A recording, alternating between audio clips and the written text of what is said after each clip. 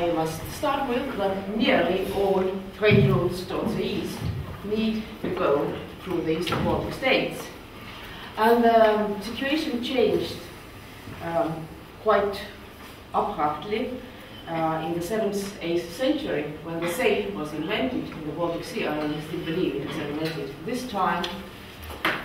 And um, uh, which made it available to sail over the open sea, which definitely was done before, but not so often. Uh, so the routes, uh, it's very rough plan. I'm only talking about uh, international, most important routes, not all routes that we used.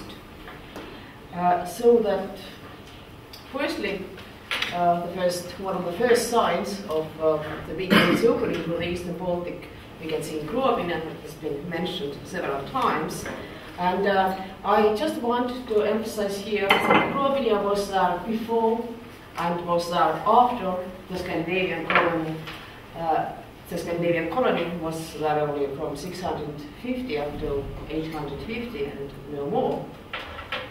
And below only cemeteries, the proper training place has not been found, um, as much as we know. Uh, and um, again, these three Scandinavian cemeteries excavated, but around there are Curonian cemeteries, quite a number of them, so it wasn't entirely Scandinavians, it also was very much local.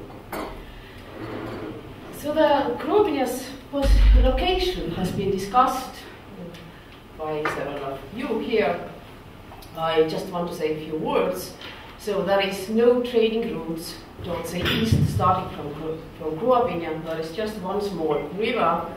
So it, it is very difficult to connect it topographically with an eastern way, with a ways towards the east. So when sailing to the east, to the big Austrian or the eastern way, you normally uh, used the uh, Finnish Bay up in the north, uh, we'll show it closer later, and that would only be a beefy tool to, say to sail from Grobiņa to there. On the other hand, when coming from central Sweden or Gotland and heading to the Wisla River, where we are here now, then actually right after uh, sailing over the open sea, the one and only, nearly only uh, naturally suitable harbour site along the very straight uh, Curonian coast is namely where Grobiņa is a small lagoon and a proper place to land. Uh, so the, approximately the same time when um, was abandoned by Scandinavians, the latest uh, 850, uh, we think it, it, seems at least that the Scandinavians somehow lost their interest, or, we don't know. Um, then, approximately uh, in the same time or after that, there appeared these two new centers that these are now.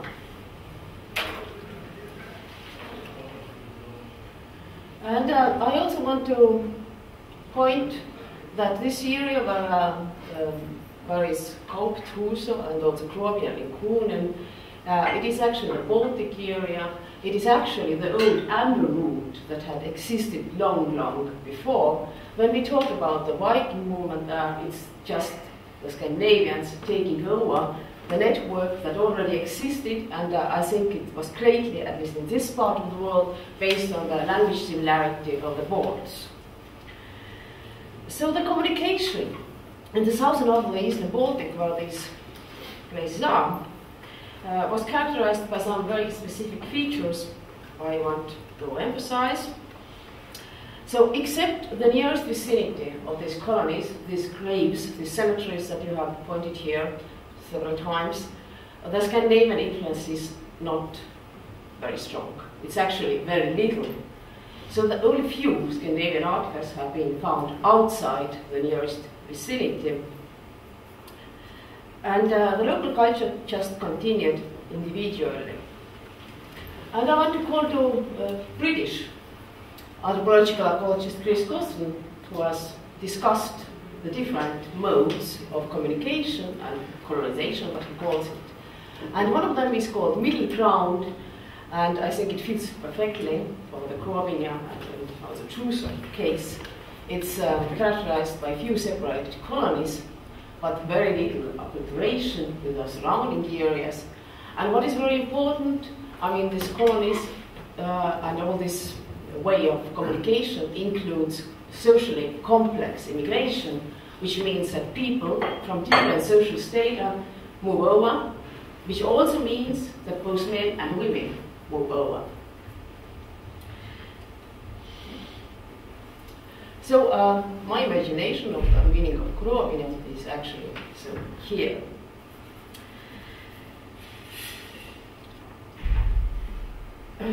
So uh, after approximately the beginning or the first half of the 9th century, it seems that the Viking or Scandinavian uh, interest turned more towards the east, because this is actually south. And to the east is the Austerweg. When you really want to sail or go to uh, the Volga rivers, where most of the Dirhams anyway came in, then you actually the absolutely best way is to choose the, uh, the Finnish Bay and the, the route along this. These green dots you re realize already, these are dirham finds, and please notice how how many dirhams have been found in different Baltic states. So there is a huge difference when we compare the Baltic states. Along this road, there were also centers. I will not talk more about them or very much about them. There are several hill forts with large settlements next to them along the North Estonian coast. It's good urban lands, proper harbor places, and, and then these centers uh, but the most prominent of them was Iru, uh, seven kilometers from the present-day Tallinn. There is a picture of it. And uh, it appeared in the 6th century. So nowadays, at least I interpret it as aristocratic residence, where probably some people stayed year-round, but I also believe that seasonally uh, the population of this site increased several times when the was open and uh, all kind of communication was going on. Uh, in this aspect, Iru, the beginning of Iru resembles Helgö and not so much Birka. Uh, Helgö, which appeared in the 5th century already, and which by Doug Hinds also has been nowadays interpreted as aristocratic residence. And uh, but but uh, again, this was before the great boom that brought in all these dirhams to uh, And we can only believe, um, and I'm absolutely not the first one to claim it, that um, uh, the Austroweger before the real Viking Age was based on fur trade and was greatly based on um, language similarity between the Baltic Finns and the Minoan languages which were talked around the years, uh, around the rivers uh, Volga and Kama further east.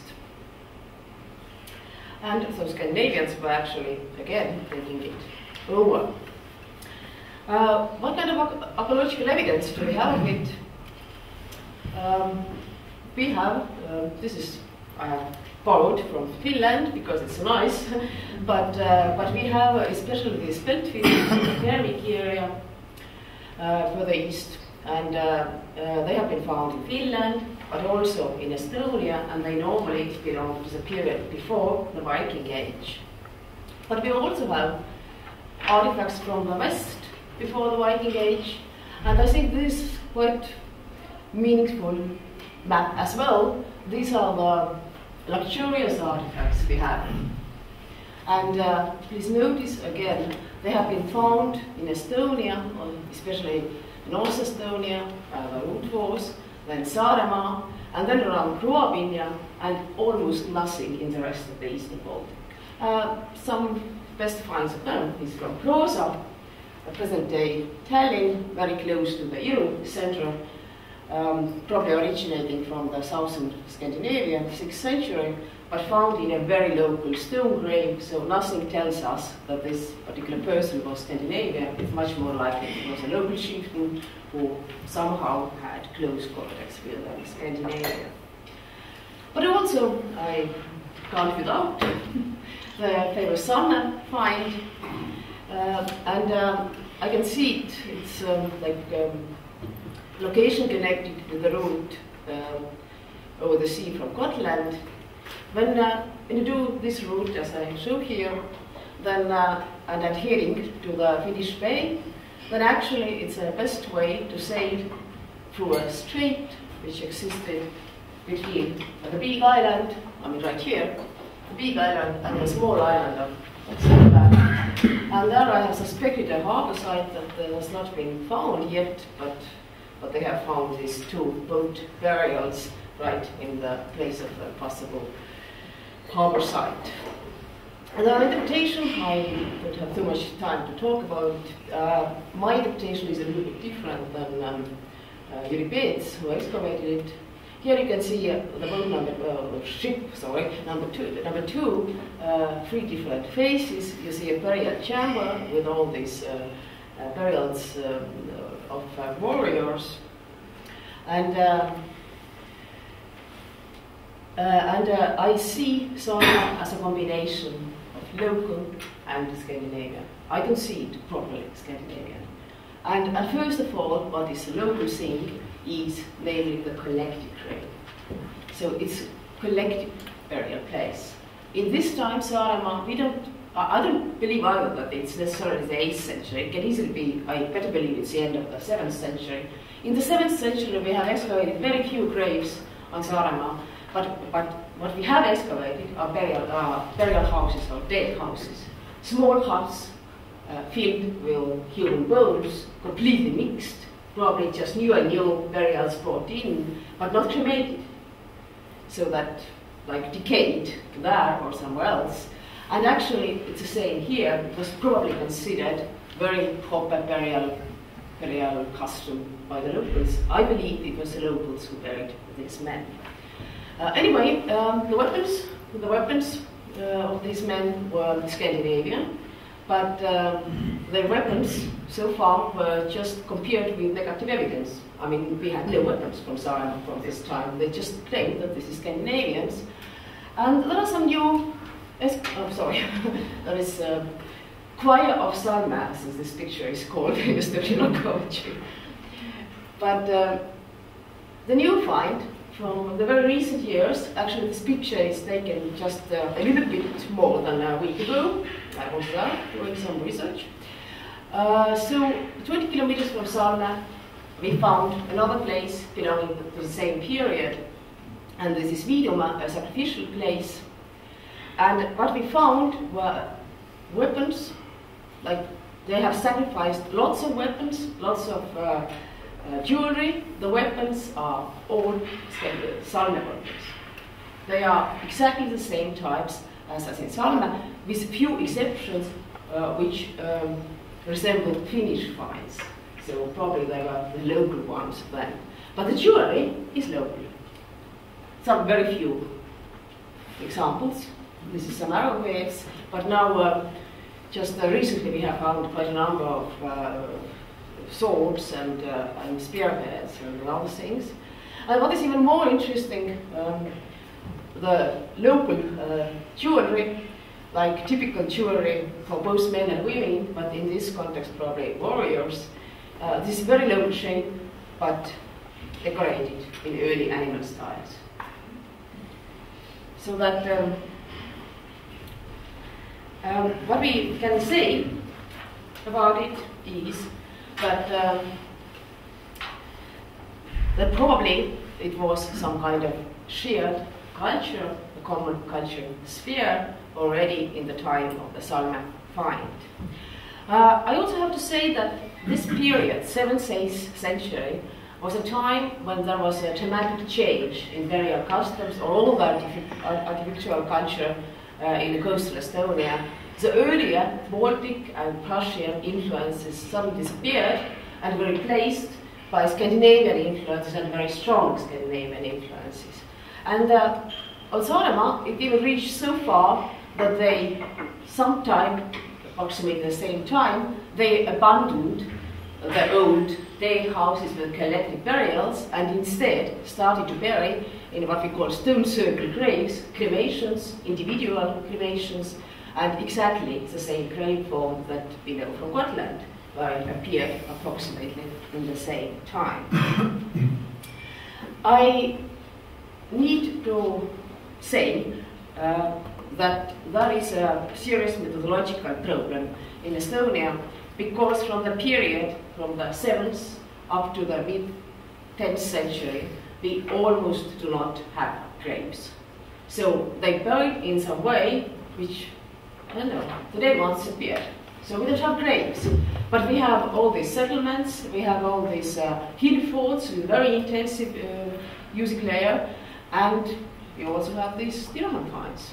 Again, a bit um, closer picture. So, and uh, as you see, the Dirham finds actually are, there are really very numerous in, in Estonia, and then they kind of mark uh, the most important communication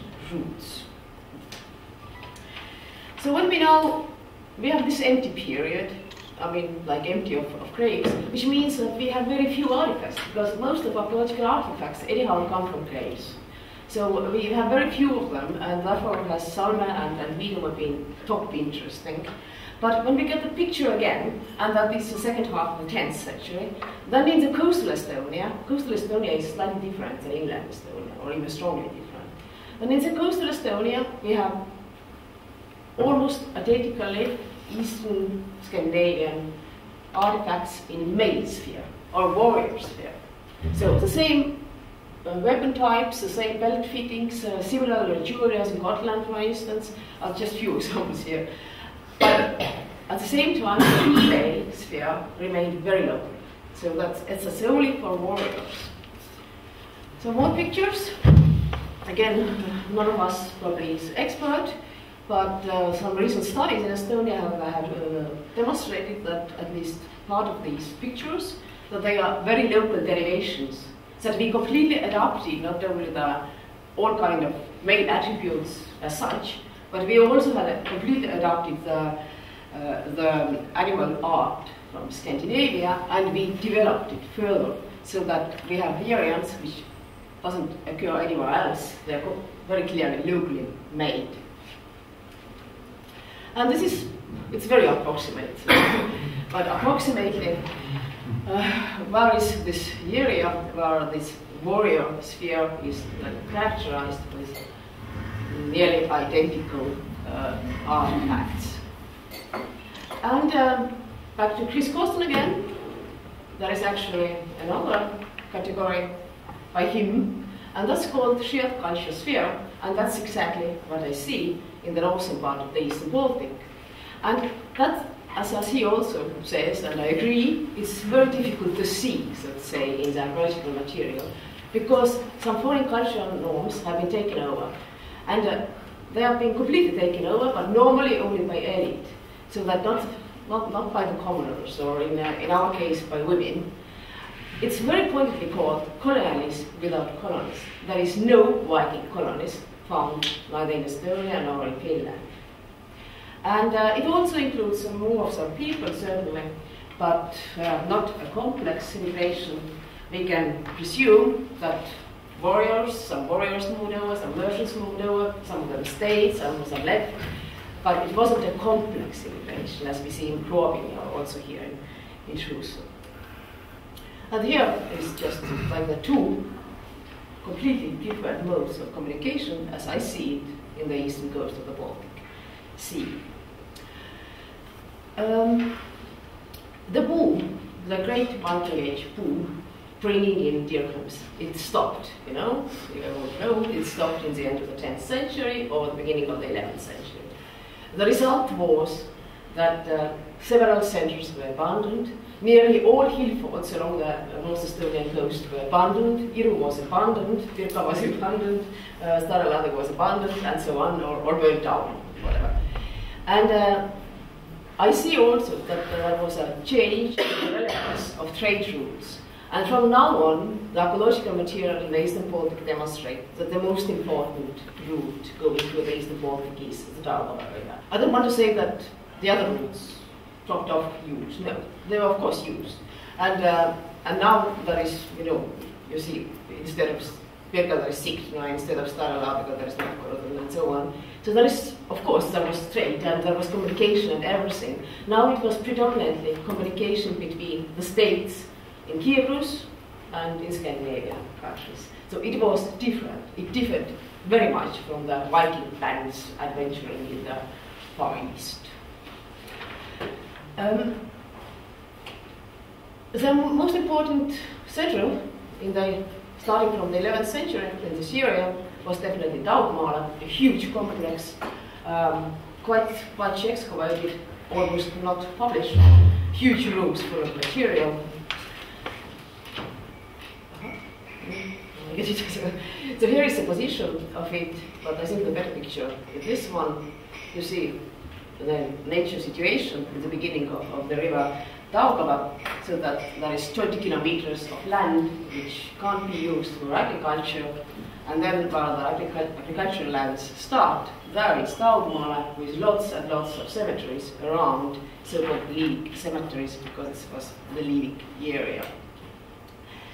Anyhow, the cemeteries uh, around Daugmala, uh, they demonstrate extraordinary big ethnic diversity in female graves huge. I think they, they talk uh, of one third up to half of the burials, female burials, being of some other ethnicity but these.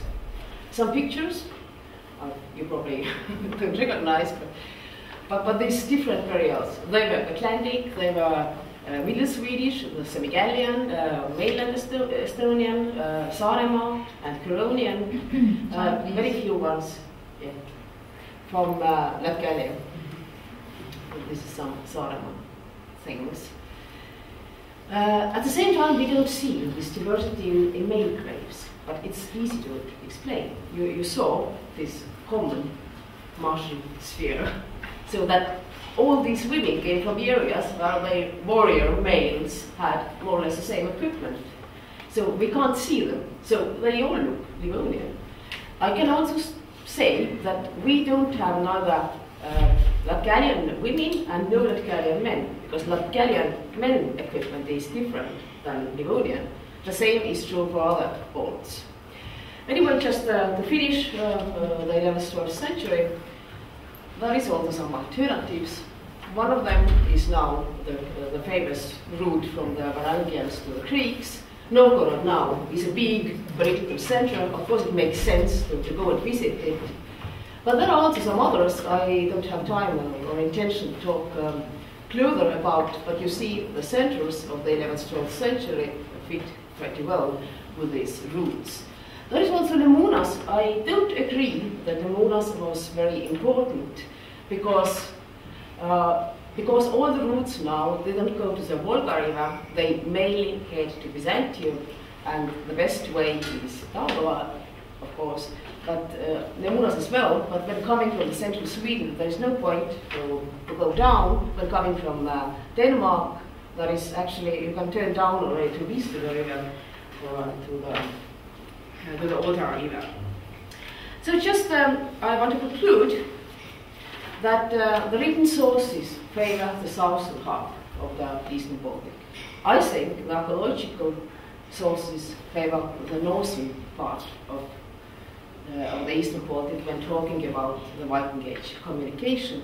And actually, it's even true for the written sources because the northern half, Estonia and Livonia, has been mentioned, I don't know, definitely more times than the southern half, but there are long narratives about the southern half.